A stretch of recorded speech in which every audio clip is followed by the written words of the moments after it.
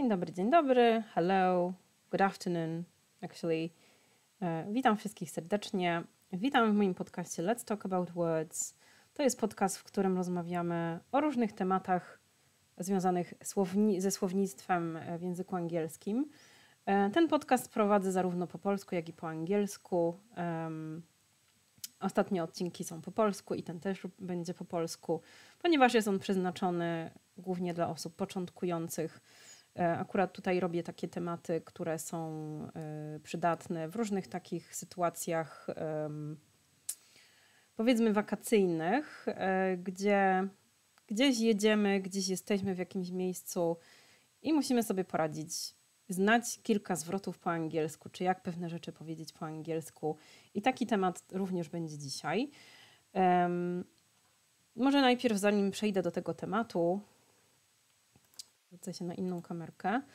E, ja się nazywam Barbara Babiuch, jestem nauczycielką oraz trenerką języka angielskiego. Pracuję indywidualnie, uczę dorosłych.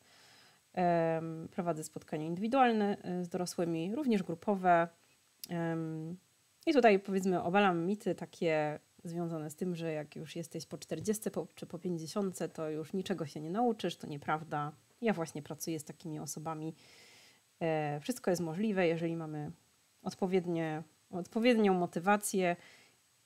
Ja pokazuję też to, że jest to naprawdę możliwe. Może nie dokładnie tak samo jak ludzi młodych, jak byliśmy nastolatkami, to dużo łatwiej nam się było nauczyć pewnych rzeczy. Wszystko jest do zrobienia. Tak naprawdę, jeżeli wiemy, jak do tego podejść. E, dzisiejszy temat to będzie lotnisko e, i radzenie sobie w takich e, sytuacjach na lotnisku. No głównie tutaj będą takie zwroty, które możecie usłyszeć oraz rzeczy, na które będziecie musieli zareagować bądź coś powiedzieć e, w danej sytuacji. Najczęściej chodzi głównie o to, żeby rozumieć, co jest do nas mówione.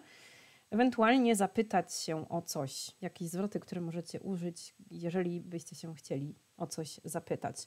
To są zwroty, które powiedzmy gdzieś ja na swoim przykładzie doświadczyłam, czy tak według mnie, które możecie mm, spotkać na tym lotnisku. To nie są wszystkie zwroty, jeżeli jest coś, co pominęłam, bądź chcielibyście zadać pytanie, w jaki sposób coś powiedzieć. E, zapraszam do komentarzy. Na wszystkie komentarze tutaj będę odpowiadać, do wszystkich będę się odnosić jeżeli będziecie mieć tutaj jakieś pytania. E, więc to, co dzisiaj tutaj jest pokryte, to jest odprawa na lotnisku, czyli to nie będą wszystkie sytuacje, bo tak naprawdę na tym lotnisku może się multum rzeczy zdarzyć. To są tylko e, takie sytuacje związane z odprawą, czyli kiedy musimy ten bagaż zdać. Bądź też e, na przykład jak jesteśmy na bramkach i na tym security check, czyli tych bramkach no, wszystko tutaj będzie. Mm, będą, będą przykłady. E, więc tak, e, idąc sobie od początku, w ogóle tak, zanim zacznę jeszcze, to odsyłam wam do jednego, odsyłam was do jednego z moich filmów, którym, um, bo już mam jeden filmik właśnie o lotnisku. Jest to filmik, który jest w języku angielskim i tam bardzo fajnie jest wyjaśnione różne, są wyjaśnione różne zwroty związane właśnie z lotniskiem, jak nazywają się pewne rzeczy, pewne pomieszczenia, czy różne etapy, które musicie przejść na tym lotnisku. Mm, więc tutaj tego nie będzie, ponieważ jest to zawarte w tamtym filmie. Y, jest to, język, jest to filmik w języku angielskim i jest to filmik, w którym ja obrazuję, pokazuję Wam na obrazkach, co to są te rzeczy i tak naprawdę co możecie tam zobaczyć na tym lotnisku. Więc myślę, że naprawdę fajne, jeżeli jesteście w sytuacji, gdzie macie być na tym lotnisku niedługo, yy, polecam ten filmik. Yy, ten filmik będzie powiedzmy taką kontynuacją, celowo w języku polskim, żebyście, jeżeli jesteście początkujący, żebyście coś tutaj ogarnęli yy, z tego, bo może po angielsku to nie wszystko będzie dla Was tutaj zrozumiałe. Mm, więc taki powiedzmy mm, tutaj e, zestaw pomocniczy, naprawczy, czy jak to tam nazwać. w sytuacjach kryzysowych. Tutaj departure hall, departures, arrivals wrzuciłam celowo, ponieważ jest to taki pierwszy, jak przyjeżdżacie na lotnisko, pierwsze co musicie rozeznać, gdzie są odloty, a gdzie są przyloty, gdzie macie się udać. E, jeżeli gdzieś lecicie. Najczęściej gdzieś podróżujemy, więc arrivals nas nie interesuje. Arrivals to są przyloty, czyli te loty czy osoby, które przylatują, więc tam się udacie, jeżeli macie kogoś odebrać, więc wtedy szukacie arrivals. Natomiast Was interesuje departures, czy samo departure hall. Najczęściej zobaczycie słowo departures i tam musicie się udać. Na większości lotnisk jest to wszystko dokładnie pokazane, wystarczy patrzeć po znakach. E, departure hall, czyli cała ta hala to pomieszczenie, w których mamy odloty. Departures hall. Załóżmy, że nie możecie się znaleźć, nie wiecie jak tam się dostać, gdzie to departures hall jest, czy jesteście przed lotniskiem w ogóle i nie wiecie gdzie się udać. Excuse me, where is the departures hall? Czyli gdzie, gdzie jest ta hala odlotów, tak? Where is the departures hall? Albo where departures? Excuse me, where are departures? How can I get to the departures? I tutaj w odpowiedzi zapewne dostaniecie, zależy gdzie to jest, tak? Albo pokazanie ręką, you go this way, it's there. Albo jakąś dłuższą wypowiedź, gdy ktoś wam będzie mówił, gdzie macie się udać, w którym budynku, gdzie skręcić. E, where is the check-in desk? Okay? Czyli już jesteśmy na tym departures i musimy się odprawić. Taka odprawa to jest check-in, szukamy check-in desk. Where is the check-in desk? Jeżeli nie możemy znaleźć i chcemy się dowiedzieć, where is the check-in desk? Excuse me, tak? Excuse me e, to jest taki zwrot, który możemy użyć właśnie w sytuacji, kiedy chcemy kogoś zaczepić, zwrócić swoją uwagę. E, najprawdopodobniej prosimy o pomoc, mamy jakiś interes do kogoś, excuse me. Można też użyć sorry, ale sorry tutaj częściej jest uważane jako, że za coś przepraszamy, a my nie przepraszamy, chcemy prosić o pomoc bardziej. Excuse me, where is the check-in desk? Can you show me where is the check-in desk? Um, ok, mm, to z czym ja się spotkałam to jest self-service check-in albo self-check-in więc wtedy odprawiamy się sami. To znaczy odprawiamy swój bagaż, tak? E, dla mnie to było problematyczne, bo w sumie nie miałam pewności, czy ja to dobrze robię i wolałam, żeby to jakaś pani zrobiła. Przy czym jak ja poszłam do tej pani tam przy tym check-in desk, to ona i tak mnie odesłała do tej do tego automatu. Ja chyba poprosiłam o kogoś y, o pomoc wtedy, tak z tego co pamiętam więc już nie pamiętam dokładnie jak to było. Tam dostajecie instrukcje i musicie po prostu przeklikać sobie to. Self-service check-in. E, how do I check in my luggage? Ok, e, więc na przykład jesteśmy w takiej sytuacji, że nie wiemy jak to zrobić. Powiedzmy przy takim automacie. How do I check in my luggage? Can you show me how to do that? Sorry, can you help me? Excuse me. Can you help me? Ok. Um, jeżeli jednak jesteśmy w sytuacji, że podchodzimy do tego check-in desk, czyli do, tej, do tego punktu odpraw, um, tutaj pokażę Wam takie zwroty, które możecie usłyszeć. Uh, please put your luggage or please put your suitcase on the scales. On the scales. Scales, czyli waga. Tam jest taka waga e, zaraz przy tym stanowisku. Musimy położyć tam swój bagaż. Please put your luggage or put your suitcase. Luggage to jest bagaż ogólnie, tak? Suitcase mówimy o tej walizce konkretnie, on your scales, on the scales. Um, okay. Your bag is too heavy, you have excess luggage. E, jeżeli okaże się, że nasza walizka jest zbyt ciężka, tak? Możemy dostać taką informację. Sorry, but your bag is too heavy. You have excess luggage. Excess luggage to jest też zwrot, który mm, możecie gdzieś tam spotkać albo na jakichś e, tablicach informacyjnych, tak? Czy nawet jak jeszcze kupujecie bilet e, excess luggage, czyli ten, ta nadwaga, za którą najprawdopodobniej będziecie musieli zapłacić, jeżeli będzie przekroczony, tam jakiś limit tej wagi. jest excess luggage, you have to pay for excess luggage. No ale najczęściej jednak stwierdzamy, że nie chcemy zapłacić. Czasami jest to możliwe, bo wystarczy trochę rzeczy wyciągnąć. Can I take something out from my bag? Can I open my bag? Open my bag, no może jest to zbyt ogólne, że tylko otworzyć walizki. Jeżeli chcemy coś wyciągnąć, informujemy tą panią, że wyciąg wyciągamy coś z tej walizki. Can I take something out from my bag? No w sumie niekompletne dałam to pytanie.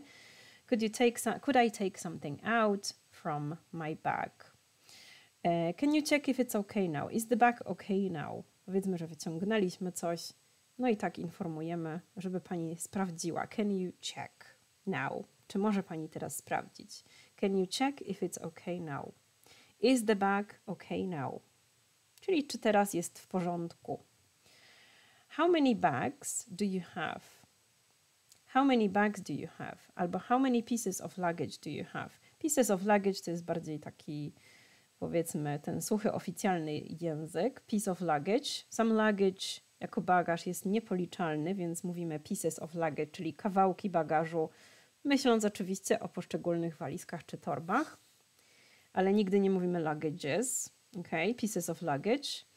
E, albo how many bags. I myślę, że częściej spotkamy to bags.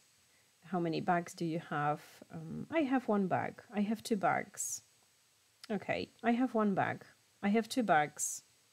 I have no luggage to check in. Czyli powiedzmy, nie mamy żadnego bagażu do odprawy. Pani też może, może właśnie zapytać, do you have any luggage to check in? Czy masz jakiś bagaż do odprawy? Czyli ten bagaż, który ma iść do, do luku bagażowego, ten dodatkowy, większy bagaż. Do you have any luggage to check in? I have no luggage to check in. I have one bag. I have two bags. Yes? Um, Okej. Okay. Mm. Raczej to chyba najpierw zrobi, żeby. żeby yy... Już nawet nie pamiętam, w jakiej to jest kolejności. Najpierw chyba prosi o paszport albo ID. Passport, please. Albo your passport, please. Your ID, please. Can I have your passport, please? No tutaj różne zwroty możecie usłyszeć. Yy, najprostsze jest właśnie to, które tutaj widzicie. Passport, please. Myślę, że tutaj nawet nie trzeba nic tłumaczyć. Jest to tak zrozumiałe, jak usłyszycie passport, please. Wiadomo, że macie podać ten paszport czy ID. ID to by był wtedy jakiś dowód tożsamości, niekoniecznie paszport, bo nie zawsze musi to być paszport. Here you are. Jeżeli coś dajemy komuś, e, niekoniecznie jest to paszport, ale cokolwiek, co ktoś nas prosi, nie mówimy nigdy please. Ja to mówię moim e, klientom bo takie błędy niestety się zdarzają. Nie mówimy please, proszę. Please oznacza, że coś, coś kogoś prosimy, żeby ktoś coś dla nas zrobił. Natomiast coś podając, here you are. There you go. Też może być. Najczęściej powiedzmy here you are. Taki najbardziej, najprostszy, najbardziej oklepany zwrot. Here you are. Podajemy coś i mówimy właśnie proszę. Would you like an aisle seat or a window seat? Um, to możecie usłyszeć, jeżeli przy, tym, przy tej odprawie jest możliwość wyboru miejsc, dopiero wtedy. Mm, to wtedy takie pytanie może paść. Aisle seat to jest to siedzenie przy alejce, tej środkowej, natomiast window seat no to jest siedzenie przy oknie. Najczęściej ten wybór możecie zrobić jeszcze jak odprawiacie się już online, jak kupujecie bilety, wtedy ten wybór, tą decyzję musicie podjąć, ale no nie zawsze. E, chociaż mi się to nigdy nie zdarzyło. E, czasem może być tak, że na lotnisku dopiero wybieracie, albo nie wiem, kupujecie dopiero na lotnisku ten bilet i takie pytanie padnie, wtedy właśnie o to chodzi. Które siedzenie, czy przy, przy korytarzu, czy przy oknie. E, middle seat to by było wtedy to środkowe. Middle seat, aisle seat, window seat. E, here is your boarding pass, czyli pani drukuje nam te karty pokładowe i nam daje. Here is your boarding pass. Boarding pass, czyli właśnie karta pokładowa, to jest ten dokument, bez którego nie wejdziecie mm, do samolotu. Boarding pass. Here is your boarding pass. Um, thank you. To może jest prosty zwrot, ale niektórzy chcą wiedzieć, jakie są inne wersje, co innego mogą powiedzieć. Thank you. Uh, thanks jest takim bardziej. Um, skracającym dystans, tak? Więc jeżeli mówimy thanks do kogoś, to jest tak jak dzięki po polsku. Więc jeżeli jest to sytuacja, gdzie chcemy być uprzejmi do tej pani, która nas obsługuje i powiemy do niej dzięki, no to tak nie do końca może pasuje. E, więc thank you, thank you very much, thank you so much. Okay. Takie zwroty tutaj możecie użyć, jak chcecie być mili, uprzejmi, tak jakoś miło podziękować. Thanks a lot, powiedzmy, też mogłoby przejść. Też tutaj jest to thanks, tak? E, więc raczej thank, nie thanks, thank you. E, enjoy your flight, have a nice flight, have a good journey. To możecie usłyszeć w odpowiedzi już na odchodnym od tej pani, która was obsługiwała, właśnie enjoy your flight, czyli miłego lotu, udanego lotu, miłej podróży, enjoy your flight. Flight właśnie to jest lot, journey jako podróż, have a nice flight, uh, have a good journey. E, następny idziemy um, go through security check. Ja tutaj ten zwrot napisałam może niekoniecznie, e, no samo security check, tak? Możecie usłyszeć od kogoś, um, że teraz musicie się udać na przykład. You have to go through security check. Go to security check. Albo jakieś tam właśnie te announcements, te, te um, to się nazywa po polsku, announcements, komunikaty, tak? które słyszycie w kółko gdzieś tam na lotnisku je słychać. Um, dobrze wiedzieć security check, um, security control też myślę, że mogłoby być w obiegu. Jeżeli tam po angielsku właśnie jest coś mówione, to jest właśnie tutaj you have to go through security check. Czasami są duże kolejki na ten security check i usłyszycie właśnie komunikat, że mm, you have to allow time on security check, tak? Czyli musicie sobie dać więcej czasu na tym security check, bo jest dużo ludzi, tak? Więc taka wiedza Wam pomoże, żeby wiedzieć, że macie się pospieszyć, bo nie zdążycie. Um, ok, please put your items, put your belongings on the tray. Czyli już jesteśmy przy tej taśmie, musimy wszystko powyciągać, pościągać. Put your items, put your belongings on the tray. Proszę położyć swoje rzeczy e, na, to jest taka tacka, tray, on the tray. Belongings to są rzeczy osobiste, jakieś rzeczy, które posiadamy, nie wiem, to co mamy w torebce, w torbie, na sobie, tak? Put your items on the tray. Take off your shoes, take off, ściągać coś, tak? Więc znowu tu możemy takie coś usłyszeć. Take off your shoes, take off your jacket, please take off your belt. Jacket jako kurtka, belt, czyli pasek, dość często trzeba te paski ściągać, bo są tam metalowe elementy. Take off your shoes. Nie zawsze te buty proszą, żeby ściągać, ale najczęściej się je ściąga po prostu już, żeby nie było, że coś zapiszcze, jak przez bramkę będziemy przechodzić. Jewelry, take off your jewelry, czyli jakąś biżuterię. Do you have any jewelry? Może paść takie pytanie na przykład, tak? Do you have any jewelry? Um, yes, no. Nawet nie musicie odpowiadać, tylko wtedy wiecie, że najlepiej jest to wszystko ściągnąć, cokolwiek tam e, macie. Do you have any metal things on yourself? Do you have any metal things in your pockets? Czyli czy masz jakieś metalowe rzeczy na sobie? E, czyli na przykład w sytuacji, gdybyśmy przeszli przez bramkę i coś zapiszczy, um, możecie usłyszeć takie pytanie. Może coś gdzieś jest, trzeba znowu poszukać, wyciągnąć. In your pockets, czyli w kieszeniach. Can you open your bag, please? Czyli tutaj może paść pytanie, żebyście otworzyli swój plecak, torbę. Ogólnie bag jest zastosowany do wszelkiego rodzaju właśnie bagaży. Can you open your bag, please? I wtedy grzecznie otwieramy tą torbę, niech sobie tam ktoś sprawdzi, ale najczęściej proszą tak, can you take out can you take out your laptop? Can you take out electronic devices? Czyli jakieś urządzenia elektroniczne, czy możesz wyciągnąć? Can you take out liquids from the bag? Uh, can you jest grzeczniejsze. Uh, tutaj mam akurat take out your liquids, please. Uh, please take out your liquids. Please take out liquids from the bag. Więc tutaj różne wersje tego sformułowania. Empty your pockets, please, czyli proszę opróżnić kieszenie. Empty your pockets, podobne do poprzedniego zwrotu, e, w którym mieliśmy. No, Okej, okay, dobra, no może tutaj akurat jest e, z torby. Hmm, najczęściej, no to jest krótszy zwrot. Empty your pockets. Do you have anything in your pockets? Czy masz coś w kieszeni, tak? Czy w kieszeniach? Do you have anything to declare? Mm, to pytanie może. Ja nigdy go nie usłyszałam. E, to jest pytanie o to, czy macie coś do oclenia. Do you have anything to declare?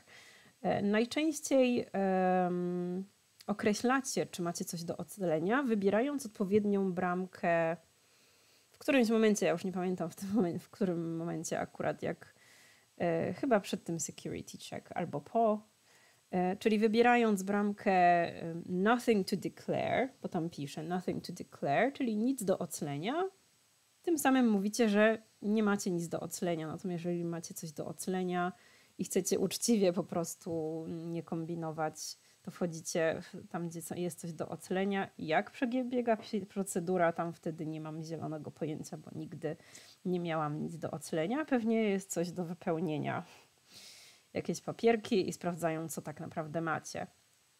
E, w każdym razie e, gdzieś na jakimś etapie może paść takie pytanie: Do you have anything declare? E, w jakiej sytuacji nie powiem Wam. W każdym razie dobrze wiedzieć, że samo declare znaczy coś z tłem.